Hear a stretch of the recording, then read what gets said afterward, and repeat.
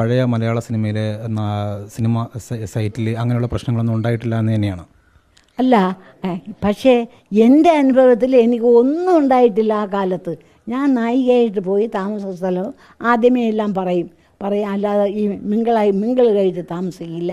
ഞങ്ങൾ സെറ്റിൽ പോവും അഭിനയിക്കും അവനവന്റെ കസേരയിൽ വന്നിരിക്കും. അത് കഴിയുമ്പോൾ നമ്മൾ താമസിക്കുന്നിടത്ത് പോകും എനിക്ക് അവിടെ യാതൊരു കുഴപ്പവും ഈ അഞ്ച് ചിത്രത്തിന്റെ അവിടെ എനിക്കുണ്ടായിട്ടില്ല സത്യം. ഉണ്ടായ ഞാൻ തീർച്ചയായിട്ടും പറയും. അത് കഴിഞ്ഞ് ഞാൻ പോയപ്പോഴും എനിക്കുണ്ടായിട്ടില്ല. ഞാൻ അഞ്ചാറ് സീരിയലും ചെയ്തു വർഷങ്ങൾക്ക് ശേഷം. അവിടെ എനിക്ക് ഒരു അപാകതയും എനിക്ക് പറഞ്ഞാലുണ്ടെങ്കിലല്ലേ പറയാൻ പറ്റൂ. അവിടെ ഉള്ളതെല്ലാം ഡീസന്റാണ് ഞങ്ങൾ അഭിനയിക്കും വീട്ടിൽ വരും തിരിച്ച് അത് തീരുമ്പോഴത്തേക്കും ഞങ്ങൾ നാട്ടിലും വരും. അവിടെ അന്നൊന്നും എനിക്കൊന്നും ഉണ്ടായിട്ടില്ല. ഞാനോട്ട് നാടകത്തിന് അങ്ങനെ പോയിട്ടൊന്നുമില്ല എനിക്ക് അതറിഞ്ഞൂടാ ഞാൻ പറഞ്ഞ സിനിമാ കാര്യം മാത്രം അന്നത്തെ കഥ. ഇന്നത്തെ കഥ പക്ഷേ പലതും കേൾക്കുന്നു. അത് ഇന്ന് സ്ത്രീകളും പുരുഷന്മാരുമായിട്ട് പോകുന്നിടത്തൊക്കെ ആൾക്കാർ പറയും. അത് യാഥാർത്ഥ്യമുണ്ടോ ഇല്ലെന്ന് എനിക്കറിഞ്ഞൂടെ. എനിക്കൊന്നും സംഭവിച്ചിട്ടില്ല. ഞാനത് പച്ചയ്ക്ക് പറയാം. ഇന്നിപ്പോൾ മലയാള സിനിമയിൽ വലിയ വലിയ പ്രശ്നങ്ങൾ നേരിടുന്നുണ്ട്. ഒരുപാട് ഇന്നിപ്പോൾ ഈ ദിവസം തന്നെ ഒരുപാട് സ്ത്രീകൾ വരുന്നുണ്ട്. പല നടന്മാരിൽ നിന്നും സംവിധായകരിൽ നിന്നും മോശം അനുഭവങ്ങൾ നേരിട്ടു എന്ന് പറയും. അതാണ്. അപ്പോൾ അത് ഇന്നത്തെ കാലവിശേഷമെന്നേ ഞാൻ പറയൂ. ഞാൻ ഇറങ്ങിയ കാലത്ത് ഇത്ര ഇത്രയും ഈ പിന്നെ ഒരുമിച്ചുള്ള ഈ ഈ പിന്നെ ഒരുമിച്ചുള്ള സഹകരണം. അന്ന് ഞങ്ങളില്ല. ഞങ്ങൾ അഭിനയിക്കുകയും രണ്ട് കസേരയിട്ടും അവിടെ ഇരിക്കും. സെറ്റിൽ സെറ്റ് സമയമാകുമ്പോൾ നമ്മൾ പോകും അല്ലാതെ നമ്മൾ അതിന് ശേഷം കൂടിയാടി ഇരുന്ന് ഞങ്ങൾ ഇന്നത്തെ പോലെ സംസാരിക്കില്ല. ഇന്ന് ഇന്ന് കാണുമ്പോൾ എനിക്കത് അതിശയം തോന്നുന്നു. ഞങ്ങൾ ഞങ്ങളുടെ ഞങ്ങളുടെ ഡ്യൂട്ടി ചെയ്യും. ഞങ്ങൾ തിരിച്ചു പോകും ഞങ്ങൾ താമസിക്കുന്നിടത്ത് വരും. അല്ലാതെ ഈ കൂട്ടുകൂടി യാത്ര കൂട്ടുകൂടിയുള്ള സംഭാഷണമൊന്നും ഞാൻ ചെയ്തിട്ടില്ല ഇന്നുമില്ല അന്നുമില്ല ഒരിക്കലുമില്ല. ഇല്ല ഈ ഈ കൂട്ടുകൂടിയുള്ള യാത്ര മോശമാണെന്ന് കരുതുന്നുണ്ടോ? അയ്യ അത് അന്നത്തെ ഒരു യാഥാസ്ഥിതിക കുടുംബത്തിൽ നിന്നാണല്ലോ അമ്മ സിനിമയിലേക്ക് എത്തുന്നത്. അതുകൊണ്ട് ഈ അമിതമായി ഫ്രണ്ട്സ് എനിക്കിന്നുമില്ല. ഈ തൊണ്ണൂറ്റഞ്ച് വയസ്സായി. ഞാൻ ഇത്രയും വർഷം ഒറ്റ മിക്കവാറും ഒറ്റയ്ക്ക് ജീവിച്ച സ്ത്രീയാണ്. എനിക്ക് ഫ്രണ്ട്സ് ഇല്ല. പിന്നീട് എനിക്കല്ലാതെ അത്രമാത്രം അടുപ്പമുള്ള പെണ്ണുമില്ല ആണുമില്ല ആരുമില്ല. എന്തിനാ എനിക്കൊരു മൊബൈൽ പോലും ഇല്ല? ആ എല്ലാം മൊബൈലുണ്ടെങ്കിലല്ലേ കുത്തി കുത്തി രഹസ്യം പറയണം. എനിക്ക് മൊബൈലില്ല. എന്നെ കൊണ്ട് മൊബൈൽ വാങ്ങാൻ ശേഷിയില്ലാതെന്നുണ്ടല്ലോ എനിക്ക് ആരുമില്ല അങ്ങനെ പറയാൻ. ആർഡിനറി പിന്നെ ഫോണുണ്ട്. അതിൽ കൂടി എന്തെങ്കിലും ആരെങ്കിലും വിളിക്കും അതിന് സമാധാനം പറയും പോവും. അല്ലാതെ ഈ കൂടുതൽ ഈ ഫ്രണ്ട്ഷിപ്പും തോളിൽ കൈയിട്ടുള്ള പോക്കൊക്കെ. അതൊക്കെ ഇന്നത്തെ കുട്ടികളെ ന്യൂ ജനറേഷൻ. എനിക്ക് അതിശയമാണ്. പക്ഷേ ഇന്ന് എന്റെ വാക്ക് ആരെങ്കിലും വിശ്വസിക്കുക എന്നെ ആക്ഷേപിക്കും എല്ലാവരും കൂടി? അതുകൊണ്ട് അതുകൊണ്ട് ഞാൻ ബാക്കി ഒന്നും പറയുന്നില്ല. അത് കാലത്തിന്റെ വ്യത്യാസം.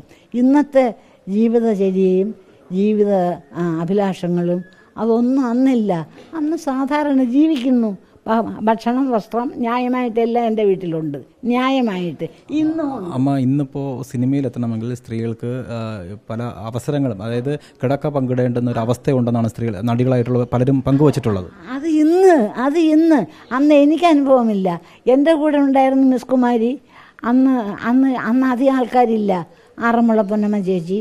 അവരും എന്നെ പോലെ ഡീസന്റ് സ്ത്രീയാണ് പൊന്നമ്മ ചേച്ചി. പിന്നീട് പൊന്നമ്മ ചേച്ചി അമ്മയായിട്ട് ആക്ട് ചെയ്തതാണ്.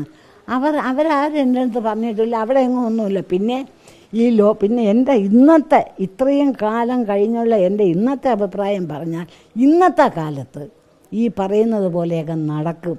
അതായത് നമ്മുടെ ന്യൂ ജനറേഷൻ ഓൾഡ് ജനറേഷനെക്കാളും വളരെ വ്യത്യസ്തമായിട്ട് എനിക്ക് തന്നെ അതിശയം. അതുകൊണ്ട് അപ്പം അന്ന് വല്ലതും നടന്നിരിക്കാം. എനിക്കൊന്നും നടന്നില്ല. നടന്നെങ്കിൽ ഞാൻ പച്ചയ്ക്ക് ഇപ്പം ഇത്രയും തൊണ്ണൂറ്റഞ്ച് വയസ്സായി പറഞ്ഞു ഒഴുകി ഇങ്ങനെ ഉണ്ടായിരുന്നില്ല. എന്നെ ആരും ഒന്നിനും വിളിച്ചിട്ടുമില്ല. അവർ കാണുമ്പോൾ ഒരു നമസ്തേ ചിരിച്ചുകൊണ്ട് പോലെ അത്ര തന്നെ കൂടുതൽ ചിരിക്കാനും കാര്യങ്ങൾ അന്വേഷിക്കാനും ഒന്നും പോവില്ല. അതൊക്കെ നമ്മുടെ വീട്ടിലുള്ള കുട്ടികളുമായിട്ട്.